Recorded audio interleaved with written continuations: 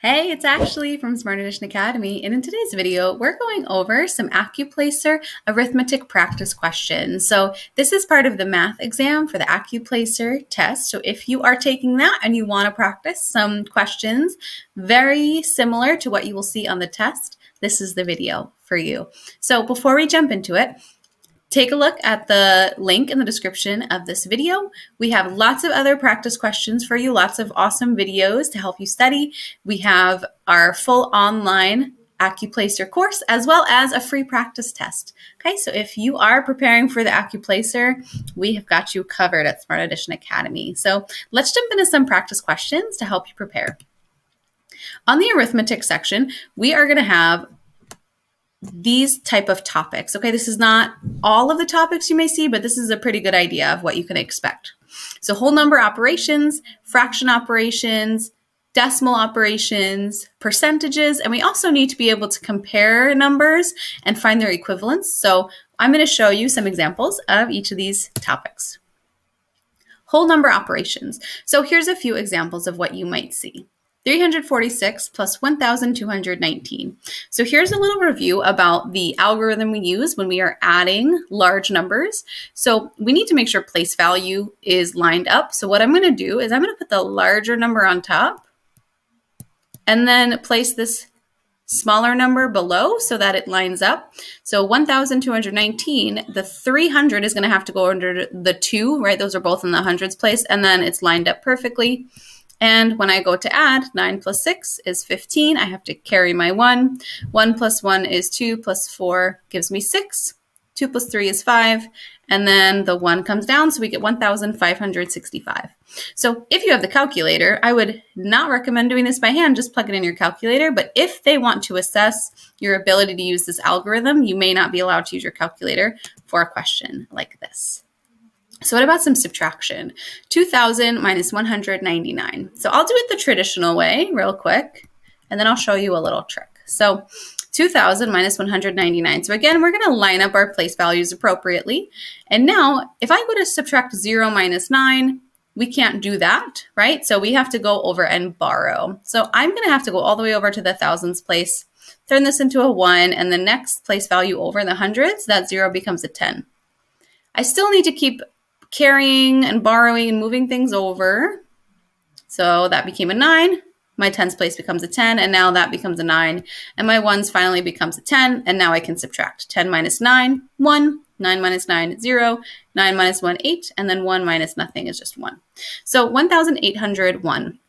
Let me show you an easier way to do this.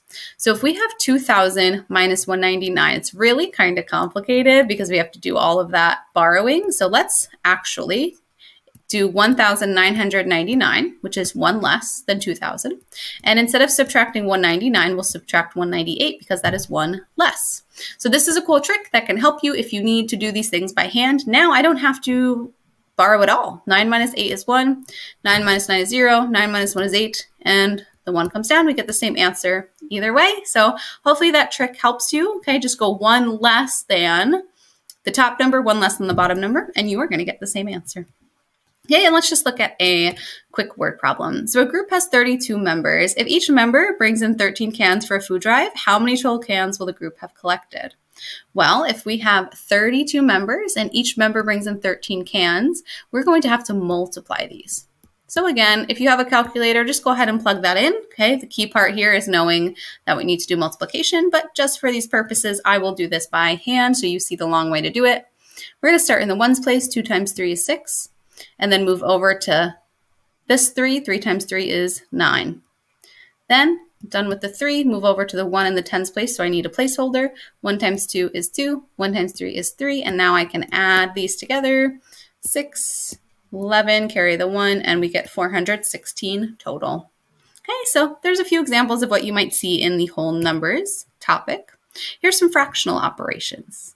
So 2 thirds plus 3 fifths in order to add fractions or to subtract fractions, okay, add or subtract, we need a common denominator. So 3 and 5, we're going to look for a multiple, which if we do 3 times 5, we get 15. So I'm going to just create equivalent fractions, both of these over 15. So 3 times 5 got me to 15, so I'll do 2 times 5 to get 10. 5 times 3 gives me 15, and 3 times 3 will give me 9. So then I just can add these together, and I get 19 over 15. Oftentimes now we're going to have to actually turn that into a mixed number. So 15 goes into 19 one time with 4 left over. So my final answer would be 1 and 4 fifteenths. Okay, so addition or subtraction, find a common denominator, and then we can just add the numerators or subtract the numerators appropriately. Now, if we're looking for division, Okay, I'll show you the trick I use for division and then I'll also talk you through multiplication because it's actually included in here. So 4 fifths divided by 8 fifteenths. What I use is KCF, so sounds a lot like a fried chicken franchise you might have heard of. Um, this helps you remember to keep, change, flip. So what that means is keep the first fraction, change division and multiplication, and flip the second fraction to be 15 over 8. Okay, so what I'm going to do here is I could multiply across the top and across the bottom. That's typically what we do for multiplication. Just multiply across the top, multiply across the bottom, and simplify. What I can also do is I can simplify first. So what I do is called cross canceling. I'm going to cross cancel. And I'm looking for something on the top that shares a factor with something on the bottom. So for example, 4 and 8 share a factor of 4. So I'm going to divide each of these by 4. 5 and 15 share a factor of 5. I'll divide each of these by 5. And now all I have to do is multiply across the top and across the bottom. And I've already simplified. And the only thing I have to do is turn it into a mixed number. So 2 goes into 3 once with 1 left over. So our final answer would be 1 and 1 half. Okay, so there's some fractional operations for you. Also, we're going to need to know how to work with decimals. So here's a few examples. 5 and 2 hundredths plus 2 and 6 thousandths plus 4 tenths. So the important thing about adding or subtracting decimals is you have to line up the decimal place. So if I put 5 and 2 hundredths on the top, when I do 2 and 6 thousandths, I need to make sure my decimals are lined up. Okay, that tells me that my place values are lined up the right way. And then 4 tenths will just go like this. So all my decimals are lined up and now I can add. Some of us might want to add placeholders in these empty gaps, for example, here and here and here. Okay, just knowing that those are just zero. Those trailing zeros are not necessary, but they help us add and not forget any spots. So 0 plus 6 plus 0, 2 plus 0 plus 0, 0 plus 0 plus 4. Make sure we move our decimal place right down underneath. And then 5 plus 2 is 7. Okay, so that would be our final answer. Now let's look at a word problem. A can of beans costs $1.28 each. How much would nine cans cost? So again, knowing what operation this is, this would actually be multiplication again. So we're going to take $1.28 and multiply it by 9. So notice how this is different than addition, right? I did not have to line up my decimal points here because when I multiply, the place value is not necessary to line up, and I'll show you why. So 8 times 9 is 72. Carry the 7. 2 times 9 is 18, plus 7, give me 25. 1 times 9 is 9, plus 2 is 11. So now, what we're going to do is we're going to see how many digits are to the right of any decimal that I see. This is the only decimal, so I'm going to swoop it twice, right? So that means I have to move this decimal over twice here. So there should be two numbers on the right side of the decimal again. So my final answer would be $11.52. Another trick that can be really helpful if you sometimes get confused about where the decimal should go is to just estimate a little bit. So if I say 128 is approximately 1 and 9 is approximately 10. 1 times 10 would be $10. So my answer needs to be somewhere around $10. So depending on where I put my decimal place will change this number. The only place that it makes sense is to put it right here and I get $11.52. Okay, so hope that helps with your decimal operation. So let's look at some percent questions. So percent literally means out of 100. So we will probably use that to help us. Um, so let's see what we can do. What is 20% of 255? So one thing that we can do with percents is to find easier percents like 10, 20 is a good one to know. Okay. So for example, if I had 10% of 255, I just have to divide this by 10 and I get 25.5. Now to find 20%, that would be double that. So that would be 51. The other thing you can do is turn your 20% into a decimal. So 20% is equal to 0 0.20 or 20 hundredths, right out of 100. So we just multiply that by the 255 and we will also get 51. Okay, 72 is what percent of 60? So if I take 72 and I want to know what percent of 60 it is, I have to do 72 over 60. And a question like this, you are very likely to be able to use a calculator. So if I use a calculator, let me just, sorry, let me just grab that calculator.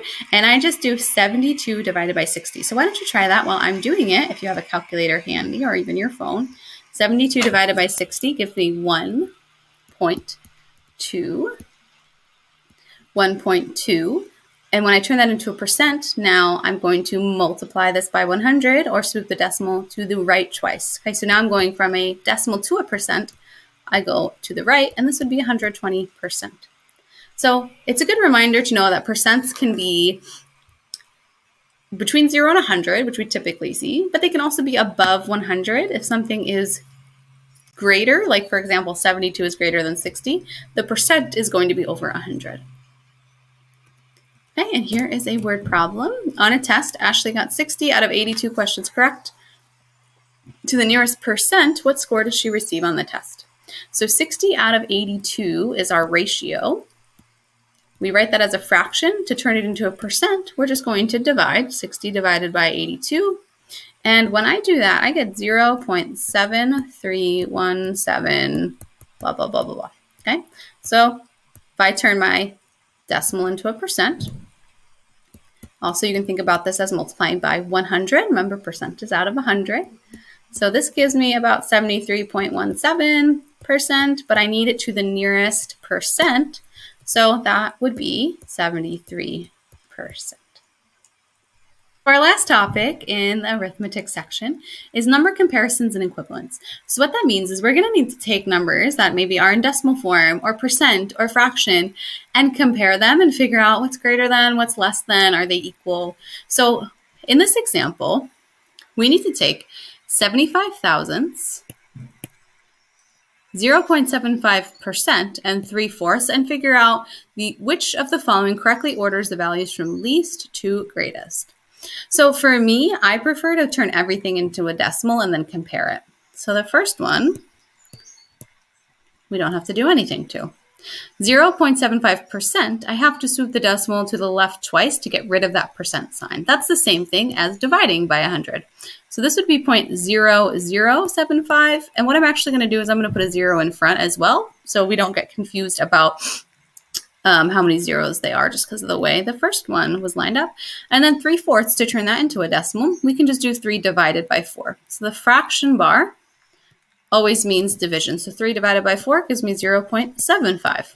So now if we need to go from least to greatest, well, the smallest one for sure is this one in the middle. So that was 0.75%. So that should be the first one I see.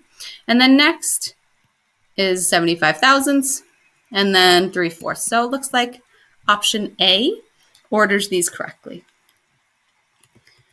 All right, so another thing with comparisons is that you need to know inequality signs. So we have greater than, less than, and equal to. So this is what always helps me with greater than, less than, or equal to is thinking about these as little alligators. So I don't even know how old I was when I first saw this, but it has stuck with me forever. And if you think about an alligator, it wants to eat more, wants to eat the thing that's bigger. So that's how we'll try to remember our greater than, less than signs. So which of the following inequalities is true? So if we have fractions that we need to compare, it's a lot easier if we have the com a common denominator. So I'm going to just rewrite these each of these sets of fractions with a common denominator and figure out which of these is greater that way. So easy way to do is just multiply the denominator. So 4 times 7 is 28.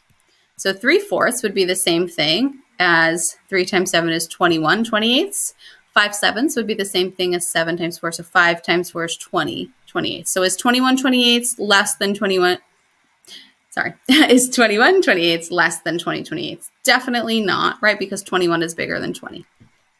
So we can do the same thing for each of these. So it looks like for B, the least common denominator we could use would actually be 6. So that makes our lives a little easier because 5, 6 can stay the same. 3 times 2 is 6, so 2 times 2 is 4. So is 4 6 greater than 5 6? Nope, definitely not. 5 eighths is greater than 6 tenths. So what can we use here? Uh, how about 40? Okay, so I'm looking for the least common denominator, but you could use any common multiple. It's totally fine. So 8 times 5 is 40, so 5 times 5 is 25. 10 times 4 is 40. 6 times 4 is 24. So it's 25 40ths greater than 24 40ths. That one looks good.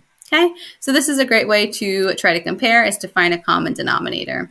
Some people also like to use a trick where you cross multiply. Um, for me, that always felt a little bit confusing, but if that's something, if that's triggering something for you and you're like, oh, I do remember that, I might want to use that. Great strategy if it works for you. Okay, so we have made it to the end of our topics for the arithmetic section. So I hope you found these practice questions helpful. Please let us know in the comments if you found this useful and what other types of videos you need help with studying for your Acu Accuplacer exam. And I will look forward to seeing you in the next video.